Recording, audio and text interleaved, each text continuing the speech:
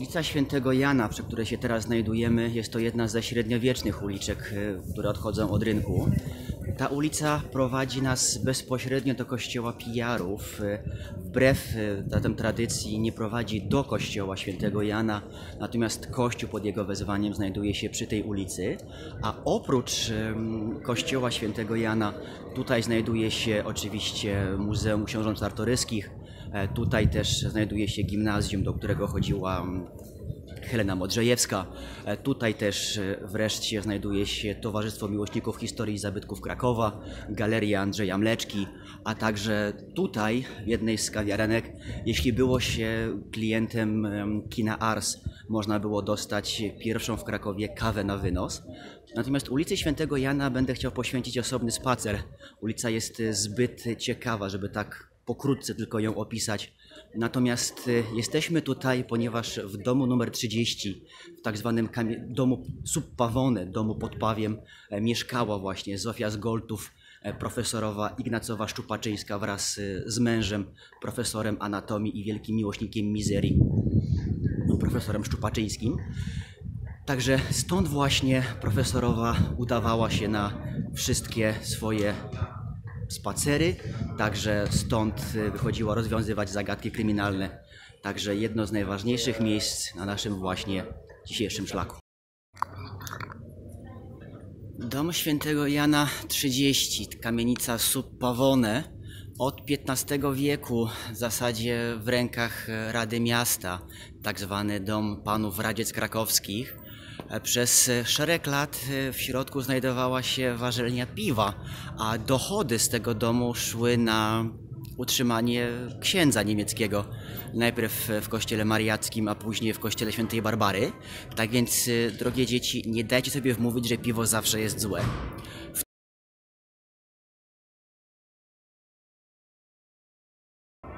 Dom Subpawone, pierwotnie nazywany domem panów Radziec Krakowskich, natomiast y, od y, godła, od pawia właśnie z XVII wieku za- był nazywany domem pod pawiem, domem Subpawone. Obecnie kamienica, gdzie po prostu mieszkają zwykli mieszkańcy Krakowa. Jesteśmy nad Wisłą. Na odrzece można mówić naprawdę bardzo długo. Mniej więcej tak długo, jak płynie się od źródła do ujścia. Oczywiście w Krakowie nad y, Wisłą znajdują się Wawel, Kościół na Skałce, miasto Kazimierz, miasto Podgórze i cały szereg innych obiektów, o których można by też faktycznie długo opowiadać. Natomiast y, jesteśmy tutaj nie przez przypadek. Za moimi plecami, na Wiśle właśnie, e, w końcu wieku XIX Rożnowscy zbudowali willę. O rodzinie Rożnowskich wiele nie wiadomo. To była rodzina na pewno kupiecka, która dorobiła się na handlu mydłem i wykorzystali e, ustawę budowlaną Dębnik z końca XVIII wieku. E, Dębniki to jest e, dawna jurydyka podkrakowska. E, Jurydyka, czyli obszar o charakterze miejskim, ale nie obowiązywało w nim prawo miasta, tylko obowiązywało w nim prawo właściciela. Więc e, wykorzystali właśnie ustawę budowlaną Dębnik, zbudowali sobie willę na Wiśle, dosłownie w przenośni, jeśli brali to pod uwagę, to chyba nie doszacowali, bo na pewno e, musieli wziąć pod uwagę, że Wisła, jak to rzeka, czasem wylewa, więc e, kilkukrotnie zdarzyły się podmycia fundamentów, podmycia samej willi. Natomiast e, mówię, nie wiem, czy brali to pod uwagę. Jeśli nie wzięli, to trochę kiepsko o nich świadczy, a jeśli wzięli, to ewidentnie za mało. W latach międzywojennych e, willa została zniszczona. E, Miejsce, gdzie willa się znajdowała, zostało przerobione na plażę. Natomiast dzisiaj to jest po prostu teren spacerowy i biada tym, co chcą w Wiśle pływać, albowiem kartki o zakazie kąpieli są tutaj praktycznie na porządku dziennym. Są one praktycznie wszędzie. Tak więc y, po willi nie ma śladu, została tylko romantyczna legenda, bardzo ładna willa, bardzo fajne miejsce. No niestety przegrała z siłami natury. Obecnie jesteśmy przy ulicy Kopernika. Dla przewodników, pilotów, kierowców turystycznych to jest jedno z najważniejszych miejsc w Krakowie. Natomiast drugą grupą ludzkości, dla której ta ulica jest niezwykle istotna, są oczywiście studenci medycyny oraz lekarze. Tutaj bowiem znajdują się kliniki uniwersyteckie, czyli historycznie Szpital Świętego Łazarza. Szpital ten jest jednym z najstarszych w Polsce. Kontynuuje on bowiem tradycję jeszcze XIII-wiecznego szpitala duchaków, który znajdował się w pobliżu rynku. Natomiast od końca wieku XVIII właśnie tutaj znajduje się szpital świętego Łazarza. Oprócz tego przy tej ulicy znaleźć można kościół, gdzie e, Felix Dzierżyński brał ślub, e, kościół e, jezuitów, ogród botaniczny Uniwersytetu Jagiellońskiego tu się też znajduje i wiele innych obiektów. Natomiast jesteśmy tutaj nie dlatego, że jest tutaj ogród botaniczny, tylko tak zwane Teatrum Anatomicum, Katedra Anatomii UJ. Gmaszysko zbudowane w drugiej połowie wieku XIX.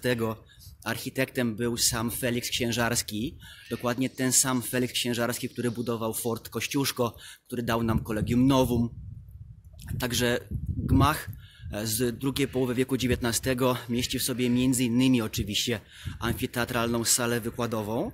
Natomiast najważniejszym chyba obiektem, czy jednym z najważniejszych w tym budynku jest kolekcja preparatów. Muzeum Teatrum Anatomicum.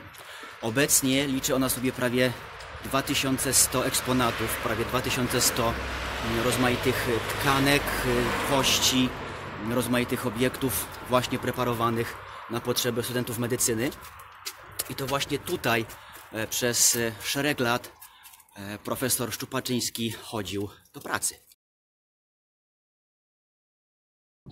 Jesteśmy w tym momencie przy ulicy Helclów. Ulica nosi imię Anny oraz Ludwika. W swoim czasie byli to bardzo znani mieszkańcy Krakowa. Ona znana przede wszystkim z działalności filantropijnej. On był bankierem, kupcem, także politykiem. Anna, umierając w swoim testamencie, zapisała na potrzeby budowy nowego domu dla ubogich, domu pomocy dla ubogich, cały swój majątek. Tak więc wszystkie pieniądze, które miała, oddała na ten zbożny cel. I w 1890 roku ten budynek został oddany do użytku. Dom Pomocy Społecznej imienia Anny i Ludwika Helclów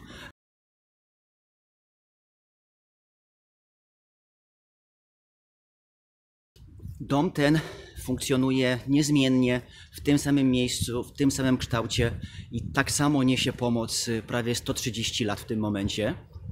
Jednak jego koleje losu są dość pogmatwane. E, architektem, czy głównym architektem tego budynku był nie kto inny, a Tomasz Preliński, jeden z architektów odpowiedzialnych za restaurację sukiennic, e, protegowany Matejki. Natomiast y, oddany do użytku dom w 1890 roku miał mieć y, ponad 300 miejsc, z czego połowa to nie były miejsca wyłącznie dla osób y, ubogich, tylko to było miejsca dla dobrych panien, bym powiedział, w zasadzie starych szlachcianek, hrabianek, które opłacały swój pobyt w tym domu i z tych pieniędzy między innymi można było finansować jego działalność. W tym kształcie dom działał do II wojny światowej, kiedy to w 1941 roku okupant y, niemiecki zajął e, część y, budynku na więzienie dla kobiet.